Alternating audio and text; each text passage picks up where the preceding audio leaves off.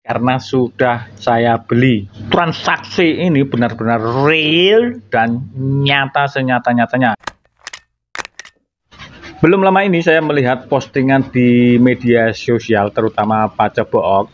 Salah satu akun milik masyarakat tersebut menjual uang kuno dengan mempertegas akad dengan harga yang masuk akal dan memberikan solusi cara transaksi yang aman dan nyaman. Item yang akun tersebut tawarkan berupa pecahan 25 sen seri federal emisi 1947. Bahasa marketing yang dia gunakan cukup simpel, jelas, tapi tegas akadnya. Sebab jual beli online di media sosial itu hal yang terpenting adalah memperjelas akadnya. Hal itu saya rasa penting karena jual beli online di media sosial itu, calon pembeli tidak bisa pegang secara langsung fisik barangnya. Hal lain yang perlu diperhatikan adalah langsung membandrol dengan harga biar transaksi itu lebih cepat, efektif, dan tidak berbelit-belit. Nah, kira-kira begini bahasa marketing yang akun tersebut gunakan cukup jelas ya, simple padahal. Bahkan dalam foto dia tata dengan cara tidak ditumpuk tapi disebar apalagi didukung dengan kualitas gambar yang baik. Ini saya coba perbesar, cukup jelas ini penampakannya. Ini menunjukkan sikap bahwa penjualnya jujur apa adanya, mau berkorban bersibuk diri atau bersikap melayani. Mungkin dia tahu di tiap lembarnya itu akan memiliki titik minus yang berbeda-beda. Tak sampai di situ, penjualnya juga memfoto di bagian tampak sebaliknya. Setelah saya mengamati detail-detailnya, saya juga telah melihat harganya, kemudian sistem transaksi yang dia tawarkan, yang kemudian didukung kebetulan untuk pecahan ini stok saya juga sudah habis. Saya amati sih kondisinya very fan, bahkan saya cek pun juga ada yang VF Plus. Ada sebanyak 8 lembar, dia bandrol semuanya dengan harga Rp200.000.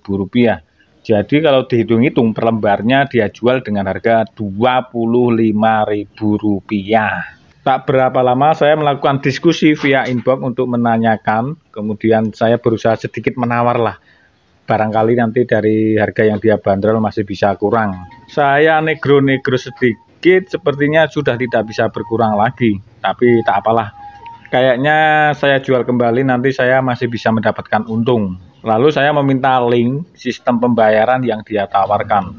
Nah, langsung diarahkan ke aplikasinya. Kira-kira begini dagangan dia. Ini stoknya tertulis sudah habis karena sudah saya beli.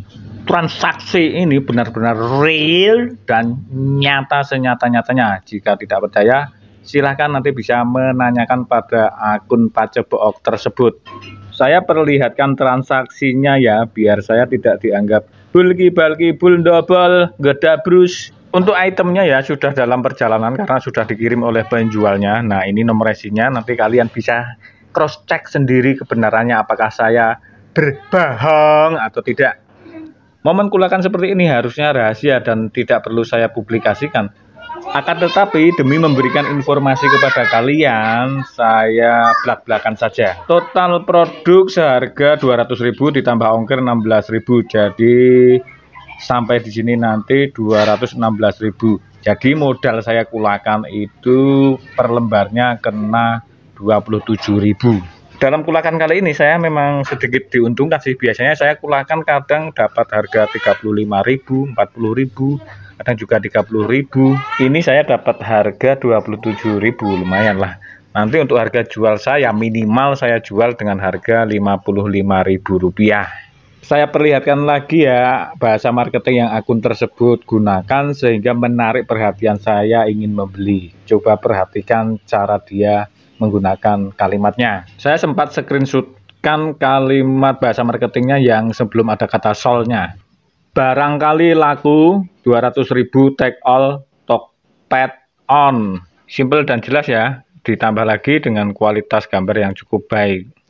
Nah di grup yang sama ketika akun tersebut jual coba kita lihat eh, jualan akun-akun lain yang akhirnya tidak membuat orang minat seperti ini contohnya. Jadi saran saya jika kalian ingin menjual uang kuno hal yang pertama adalah mempertegas akad. Tunjukkan foto sebisa mungkin foto bolak-balik kemudian berikan keterangan dijual atau gimana lah kalau jual katakan jual lalu bandrol dengan harga yang masuk akal Alangkah baiknya juga berikan solusi cara transaksi yang aman. Hmm. Semoga beruntung dan ada yang tertarik. Jika belum terjual, coba lagi, coba lagi, coba lagi, dan coba lagi. Masih belum terjual, ya coba lagi. Kembali kasih.